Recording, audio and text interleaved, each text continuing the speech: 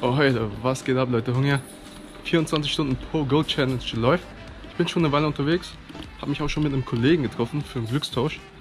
Nenne ich hier nebenbei ein. Ist ein älterer Herr gewesen, der in der Nachbarschaft gewohnt hat und dann umgezogen ist nach Dortmund. Musste heute hier irgendwas erledigen in München. Haben wir die Chance genutzt, die Gelegenheit und endlich mal getauscht. Ja, und jetzt mache ich hier ein paar Arenen. Normalerweise fahre ich ja stadteinwärts und versuche da die Arenen dann auf Gold zu bekommen. Aber rauf gibt es auch noch Arenen und die versuche ich jetzt heute zu machen. Oh Mann, ich habe mich schon umgeschaut. Ich glaube, es wird nicht leicht. Schaut mal hier drauf.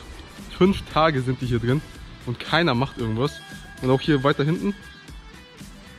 Die sind auch schon zwei, drei Tage drin. Ein Tag, warte, zwei hier irgendwo auch. Zwei, zweieinhalb Tage. Also ich kann mir vorstellen, das wird ziemlich schwer. Ich werde direkt wieder rausgekickt. Hier, die ganzen Roten dominieren hier. Sind hier einfach dauerhaft drin und ich als gelber Störenfried werde dann direkt wahrscheinlich wieder rausgekickt.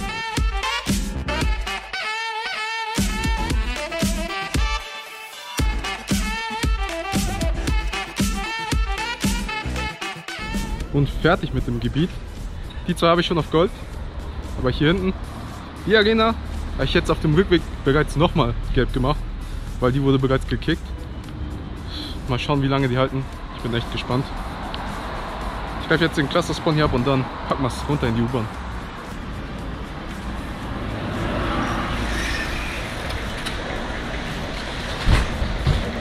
Ist jetzt glaube ich äh, kurz nach zwei, also zwei Stunden haben wir schon hinter uns. Moment. Halb, halb drei sogar schon. Ich habe gerade eine Freundschaftsanfrage bekommen, beziehungsweise die habe ich irgendwann gestern, vorgestern bekommen. Hab den Geld, den Kollegen, hab mir nichts dabei gedacht. Ich dachte, hä, woher hat der bitte meinen Code? Weil den hat eigentlich fast niemand. Der ist sehr, sehr geheim. Dann habe ich erstmal ein Geschenk von ihm ge gesehen, also bekommen. Dann habe ich abgecheckt, woher das kam. Irgendwo in Nordrhein-Westfalen dachte ich mir, ne, kenne ich nicht, habe ich wieder gelöscht. Hab heute eine Instagram-Nachricht bekommen von dem Kollegen. War ein Asiate, ein Zuschauer, den ich kenne, Grüße gehen raus. Und der hat ein Video von mir gesehen, wo der Code für einen Bruchteil einer Sekunde eingeblendet wurde und dann hat er mir die Anfrage geschickt. Zum Glück hat das bisher noch kein anderer entdeckt, sondern bisher nur er. Echt krass, dass er das entdeckt hatte, vor allem als einziger.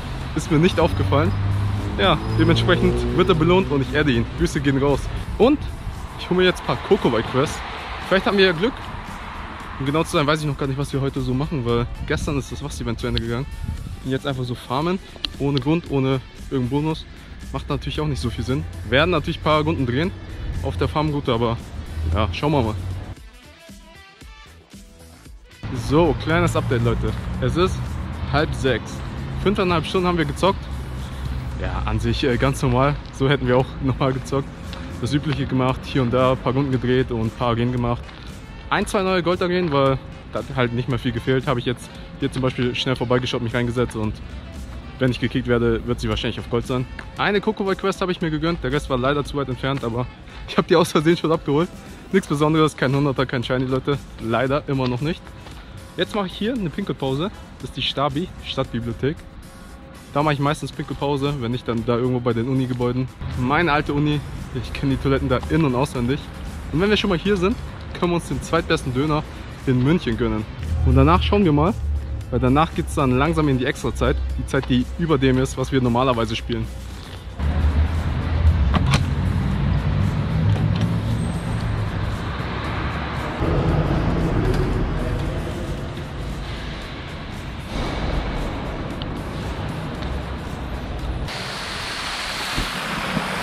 Das ist übrigens nicht der zweitbeste, sondern der beste Döner Münchens. Den habe ich mir jetzt gegönnt. Das Sandwich, wie ihr das nennt. Danach geht es weiter ein bisschen farmen und dann am Abend, wenn nicht mehr so viel los ist, mache ich ein paar Arenen noch. Alles Plattform dann.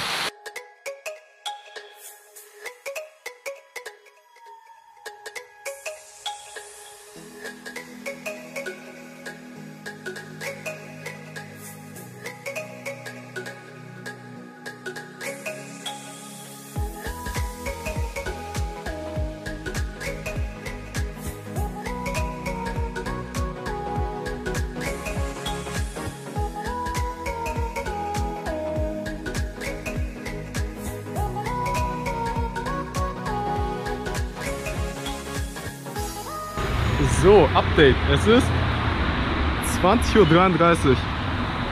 Wir sind ein bisschen Bus gefahren, um uns zu erholen, um Kräfte zu sammeln. Und jetzt, jetzt geht es langsam in Richtung Arena-Tour. Äh, die Arenen von heute Mittag, die stehen immer noch. Überraschenderweise, ich dachte, ich dachte, die Roten kommen direkt wieder und holen sich die Arenen wieder. Aber noch stehe ich in den meisten. Ich glaube, nur zwei wurden gekickt, also überraschend. Und ich hoffe, ich stehe noch die ganze Nacht. Also auf jeden Fall sehr, sehr überraschend. Mal schauen, wie lange ich da drin bleibe. Jetzt machen wir erstmal noch ein paar andere Arenen. Alter, wo bin ich hier gelandet? Ich streife immer noch durch die Straßen. Es ist 22.13 Uhr, also noch relativ früh. Wir haben nicht mal die Hälfte geschafft. Ich versuche ein paar Kämpfe noch unterzubringen, bevor der Tag zu Ende geht. PvP für Interaktion. Glücksfreunde müssen herkommen. Ja, und dann mache ich hier noch ein paar gehen. Muss irgendwo noch eine, einen Ort finden zum Pinkeln. Und dann haben wir auch die Hälfte geschafft. Dann wird es halt, glaube ich, so ab 0 Uhr, 1 Uhr bis so in der Früh 7 Uhr. Das wird, glaube ich, die harte Zeit. So ab 7 wird es wieder hell und dann sind wieder ein paar Läden offen. Zumindest ein paar, weil es Sonntag. Es fahren dann wieder ein paar Busse und so und dann kann man wieder, keine Ahnung was machen, aber ich denke, da wird es dann wieder ein bisschen leichter. Und in der Nacht gibt es Lunastein, nicht vergessen.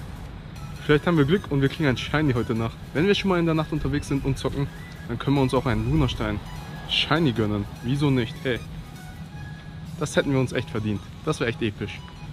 Oh mein Gott, das Licht ist viel zu heftig. Warte mal. Ich kann gar nicht gerade ausschauen. Auf jeden Fall, Update. Es ist 12 Uhr, also 0 Uhr. Die Hälfte haben wir geschafft. Und ihr seht, ich bin noch fit. Ich bin noch zuversichtlich. Ja, ich denke so, das Tief kommt um 3 Uhr oder sowas, aber noch geht's. Highlight, ein 100er in Neko bisher. Ansonsten kein Shiny, nichts Besonderes. Ich habe hier viele Arenen gemacht. Vieles, äh, was ich noch ganz knapp vor Gold hatte, habe ich jetzt auf Gold gebracht. Und ja, versuche mich jetzt in 20 Arenen zu setzen. Fehlt nicht mehr viel, aber die von heute Morgen, ja, die sind immer noch da. Also ich wurde nicht gekickt. Sehr, sehr überraschend. Sprich, ich habe noch Platz für drei, vier Arenen und dann schauen wir mal weiter. Mich hat es wieder in die Innenstadt verschlagen. Ich habe da vorne beim Stachus äh, kurz was gegessen, McDonalds. Deswegen, wenn ich schon mal hier bin, und irgendwie hatte ich echt Bock zu farmen.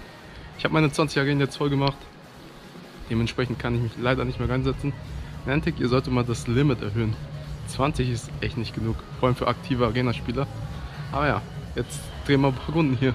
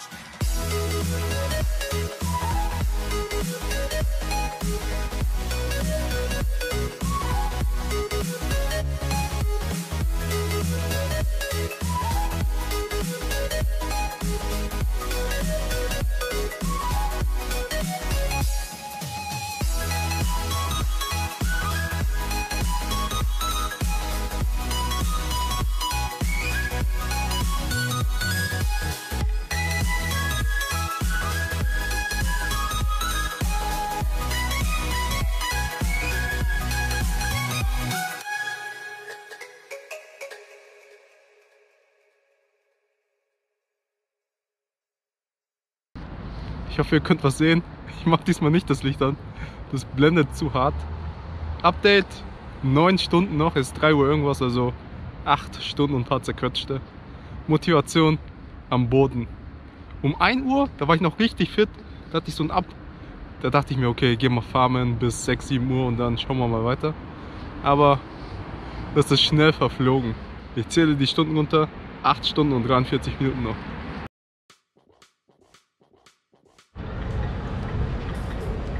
Update, Leute. Es ist 5 Uhr. Sieben Stunden noch. Ich bin eigentlich noch recht fit. Nur, ja, Füße langsam müde, langsam tun sie weh. Und gefühlt spawnt eigentlich kaum noch was. Again habe ich 20 voll, wisst ihr. Ich habe hier auch alles schon platt gehauen und weiß gelassen. Also ich habe nicht mehr so viel zu tun. Ich warte jetzt, bis der normale Bus fährt und dann setze ich mich für ein paar Runden da rein. Ansonsten 10 Eier habe ich gebüttet. Leider ein Scheinux nur. Also Scheinux ist schon okay, aber leider schlechte WP. Ansonsten Powerbank hält gut durch. Lädt immer noch nach 7, äh, 17 Stunden. Nicht schlecht. 17 Stunden und sie hält immer noch. Update, Leute. Ich bin K.O., ich bin tot, ich bin weg, Mann. Oh Mann. Ich glaube, ich habe letztes Update nicht gedreht. Zumindest nicht mit euch, weil nur für Instagram und nicht mit euch. Vollkommen verplant. Auf jeden Fall wollten wir ja Bus fahren. Problem ist, Bus kam erst in einer Stunde oder so, weil es Sonntag. Und ich hatte die Zeit von unter der Woche nachgeschaut. Das heißt, wir mussten nochmal zu Fuß gehen, ein paar Runden. Und jetzt kommt der Bus erst.